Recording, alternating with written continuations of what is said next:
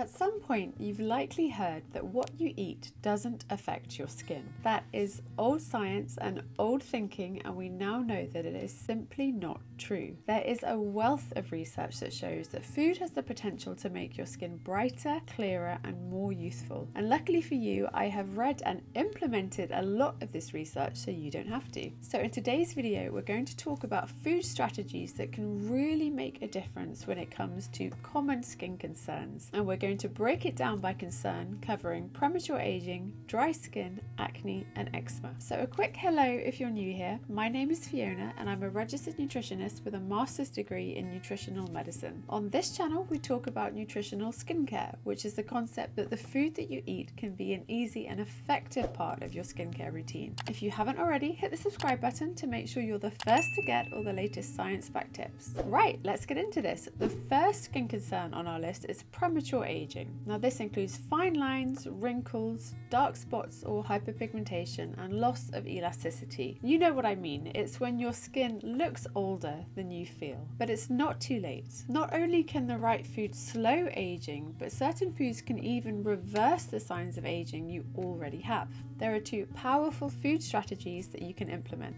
The first one is to eat colourful fruits and vegetables. These are brimming with antioxidants. Not only do antioxidants protect your skin from stresses like UV rays and pollution, but if your skin is exposed a little too much, they also play a role in mopping up some of the damage and repairing your skin. It's like dual purpose skincare. And one study showed that in people aged over 45, the more antioxidants they ate, the younger they looked. So, what can you do? The goal here should be to fill half your plate with colourful vegetables at every meal. And if you're not there yet, that's fine, just work your way up to it. Even just trying one new colourful vegetable per week is a great place to start. The second powerful strategy is to be mindful of your sugar intake. Look, no one wants to hear what they should reduce in their diet, myself included, but the fact is, too much sugar will age you. It causes a process called glycation, which is where sugar molecules stick to your collagen fibers, making them stiff and making your skin more prone to wrinkling. And fascinatingly and terrifyingly, one study showed that the higher the level of sugar in people's blood,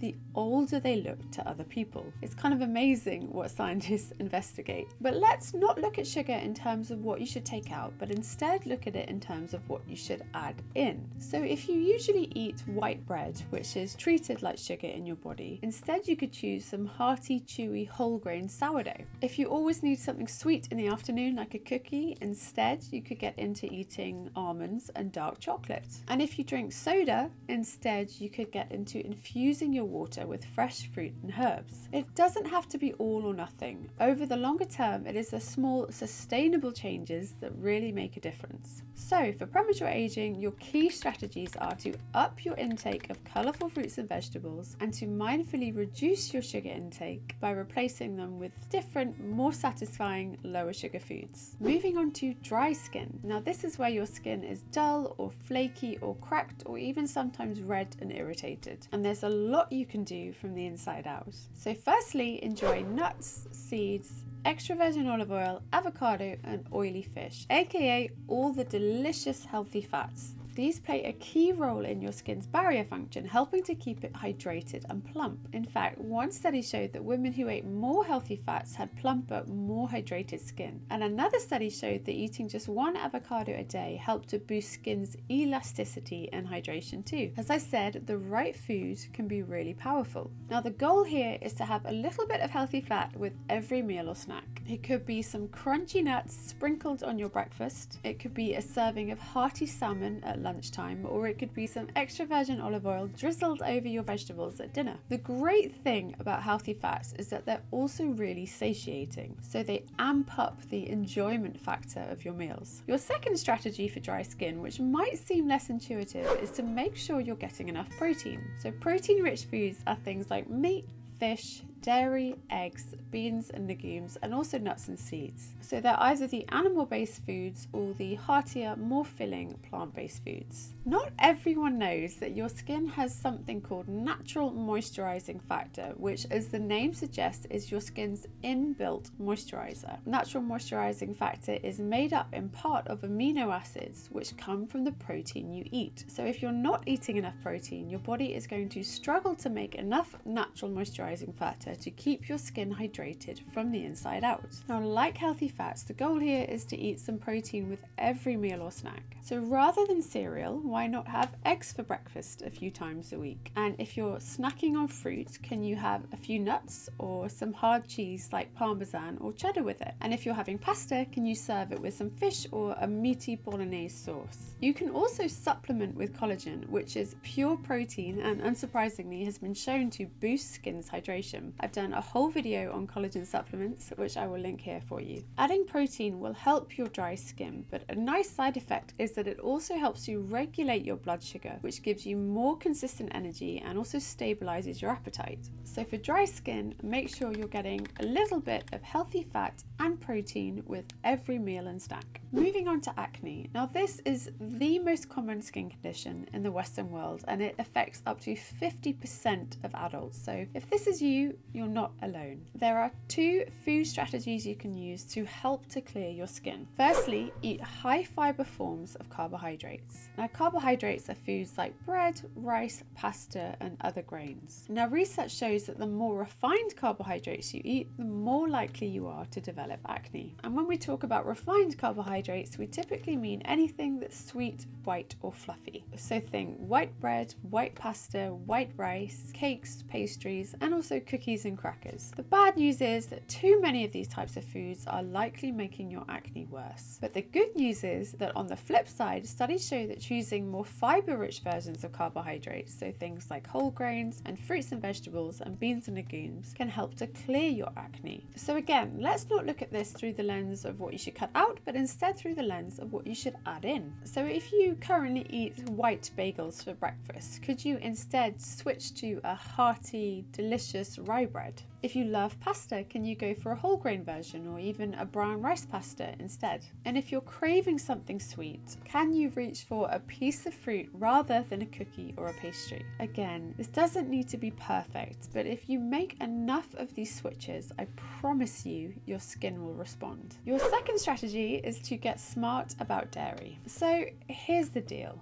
Some people with acne really don't do well with too much dairy in their diet. The strongest association is between milk and acne, but when we get to things like yogurt and cheese, things get a little hazier. What I see clinically is that for some people, removing dairy really does make a big difference to their skin, and the effect can be pretty quick. But it's not the same for everyone with acne. So if you have acne and you have removed dairy for at least a month and you're not really seeing a difference in your skin, you might want to think about adding it back in. And that's for two reasons. Firstly, food restrictions suck the joy out of life, and we should all aim to eat as varied a diet as possible. And secondly, some research suggests that fermented dairy can actually be really good for skin. So you might want to avoid drinking gallons of milk if you have acne, or supplementing with whey protein, which is just really concentrated dairy. But if you've tried eliminating dairy and the effect wasn't dramatic, dramatic, then think about adding fermented dairy like some hard cheeses and yogurt and kefir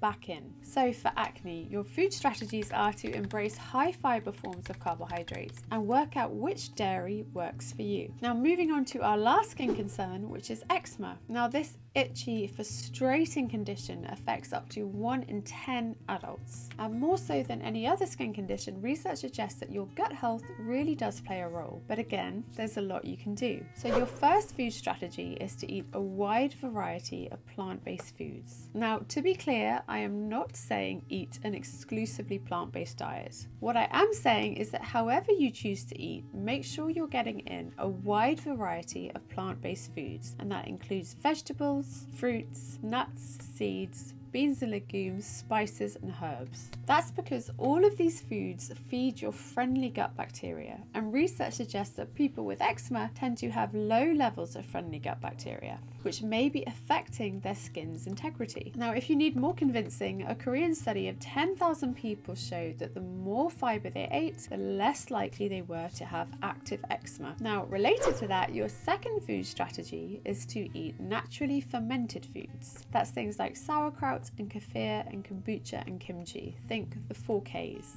So while the colourful plant-based foods feed your existing good bacteria, naturally fermented foods contain more friendly bacteria which help your gut and your skin. Now research so far suggests that probiotic supplements are best at preventing eczema. And by that I mean if a pregnant woman takes probiotics or eats probiotic rich foods, her baby is much less likely to have eczema when it's born and when it grows up. Now, if you're an adult with already established eczema, obviously it's too late for that, but don't blame your mum because she didn't know and scientists didn't even know until fairly recently. But you can still help yourself using fermented foods. One study, for example, showed that drinking kefir for eight weeks helped to improve people's eczema, and in some cases, people went from having a severe eczema to mild eczema just from drinking kefir. That's a pretty impressive result for a purely food based intervention. So, if you have eczema, feed your friendly bacteria by eating lots of colourful plant based foods and give your gut more friendly bacteria by eating naturally fermented foods. This is going to help your gut, which is going to have a positive knock on effect on your skin. So, to sum up, as you can see,